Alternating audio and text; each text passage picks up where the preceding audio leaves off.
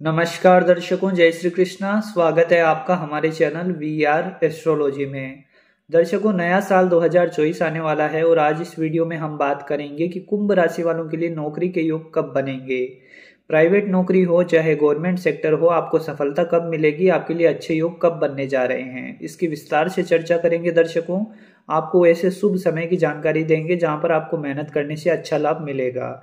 तो आप ये वीडियो पूरा अवश्य देखिए दर्शकों, आपके लिए जानकारी ज़रूर लाभप्रद सिद्ध होगी। सबसे पहले देख लेते हैं कि 2024 में आपके लिए ग्रहों की स्थिति किस प्रकार की बनी हुई है। तो देखिए दर्शकों, आपके लग्न शनिदेव बनते हैं, वो आपकी राशि कुंभ में ही गोचर करेंगे 2024 में। ये बहुत अच्छी स्थिति है क्योंकि आपके लग्नेश आपकी राशि में रहेंगे तो शश राजयोग का निर्माण होगा, आपके लिए अच्छा राजयोग शनिदेव बना रहे हैं। वहीं दर्शकों, गुरुदेव बृहस्पति की बात करें तो वो आपकी राशि से तृतीय भाव में रहेंगे मेष राशि में। तीस अप्रैल तक उनका गोचर मेष में रहेगा, इसके बाद वो राशि परिवर्तन करके आपके चतुर्थ भाव में चले जाएँगे वृषभ राशि में। दर्शकों बात करें राहु केतु की तो राहु आपकी राशि से द्वितीय भाव में रहेंगे और केतु का प्रभाव अष्टम भाव में रहेगा। सूर्य मंगल का प्रभाव देखिए दर्शकों, वर्ष की शुरुआत में आपके लिए आय भाव में रहेगा और बुध और शुक्र का प्रभाव आपकी राशि से दसम भाव में रहेगा। तो ये सभी ग्रह आपको किस प्रकार से प्रभावी करेंगे, आपके लिए क्या फल देंगे, इसकी बात करते हैं। देखिए दर्शकों जो लोग प्राइवेट सेक्टर में हैं कोई अच्छी नौकरी का लिए प्रयत्न कर रहे हैं तो देखिए, जो बेरोजगार हैं, उनके लिए जनवरी का महीना बहुत अच्छा दिखाई दे रहा है। प्राइवेट सेक्टर के लिए अच्छा समय है। यहाँ पे आपको बड़ी अपॉर्चुनिटी कोई मिल सकती है, कोई अच्छी जॉब मिल सकती है। अगर आप जॉब चेंज करने की सोच रहे हैं तो जनवरी का महीना अच्छा आपके लिए दिखाई दे रहा है। यहाँ पर अच्छे लाभ आपको मिल सकते हैं, कोई नई नौकरी मिल सकती है। ऐसी संभावनाएँ बनी हुई है, क्योंकि आपके दसम भाव में लक्ष्मी नारायण योग बना हुआ है, बुद्ध शुक्र का। इस कारण आपको बहुत अच्छी जॉब मिलती दिखाई दे रही है। वहीं दर्शकों, आपके लिए देखिए फरवरी का महीना भी बहुत अच्छा बना हुआ है, क्योंकि देखिए फरवरी में मंगल उच्च राशि के हो जाएँगे। तो जो लोग विदेश जाने के लिए प्रयत्नशील हैं, विदेश में जाकर जॉब करना चाहते हैं तो फरवरी में उनको प्रयास करना चाहिए, अच्छी जॉब विदेश में कर सकते हैं। कोई एमएनसी कंपनी में वगैरह में आप प्रयत्नशील हैं तो फरवरी का महीना अच्छा है आपके लिए। कोई बड़ी अपॉर्चुनिटी फरवरी में आपको मिल सकती है, आपको मेहनत करनी चाहिए।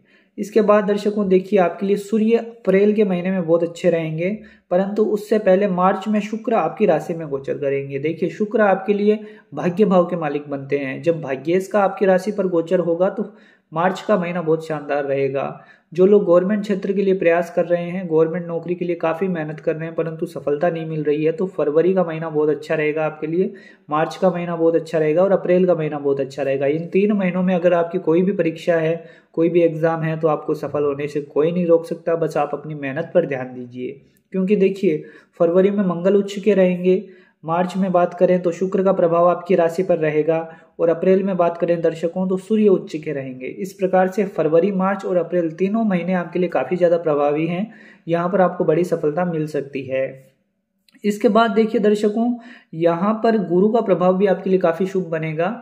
शुरू के तीन महीने तो हमने बता दिए कि फरवरी, मार्च, अप्रैल का आपके लिए काफ़ी अच्छे बने हुए हैं। वहीं जब गुरु का प्रभाव वृषभ राशि में शुरू हो जाएगा एक मई से तो उन गुरु आपके लिए और ज़्यादा प्रभावी हो जाएँगे, क्योंकि गुरु की दृष्टि सप्तम दृष्टि आपके दसम भाव पर रहेगी, कार्य क्षेत्र में बड़ी उपलब्धि आपको मिलेगी।